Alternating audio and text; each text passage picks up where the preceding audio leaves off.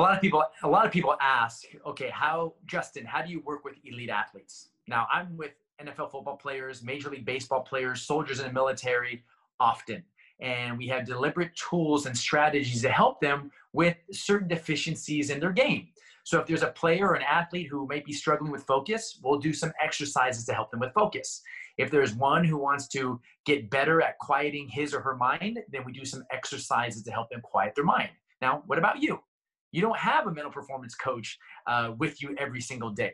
You might not have the access to someone to help you walk walk you through these skills and these techniques to help you quiet your mind. So what do you do? I would keep it as simple as possible. Simple yet powerful. And it could start with a simple journal. One of the most important things that you can you need to start doing is paying attention to yourself and catching yourself winning.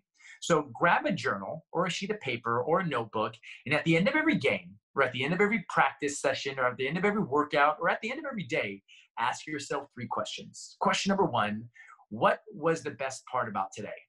And as you ask yourself what the best part about today is, you are going to scan your mind for the positive things because it's so easy to get negative. You're going to catch yourself winning the good things you did at practice, the good things you did in the game. Because a lot of times whether it be your coach or your parents or yourself, you can be really hard on yourself. So you're training yourself to find the good. Question number two What did I learn today? What did I learn? What did you learn from your mistakes? What did you learn from your successes? What did you learn from other people's mistakes and their successes? And as you document and write down what you learned, then what you're going to do is you're going to be able to take those lessons and become a better version of yourself and use it to be better the next time. Because what happens a lot of time when people get frustrated or when they fail, they get too emotional and then they don't learn. You don't want that to happen to you. You really want to identify what did I learn? And question number three, what am I going to do better tomorrow? This gives you, puts you in the driver's seat. It helps you remember that you are in control of your performance. You are in the in control of how you show up to your practices, how you show up to the classroom, how you show up every single day.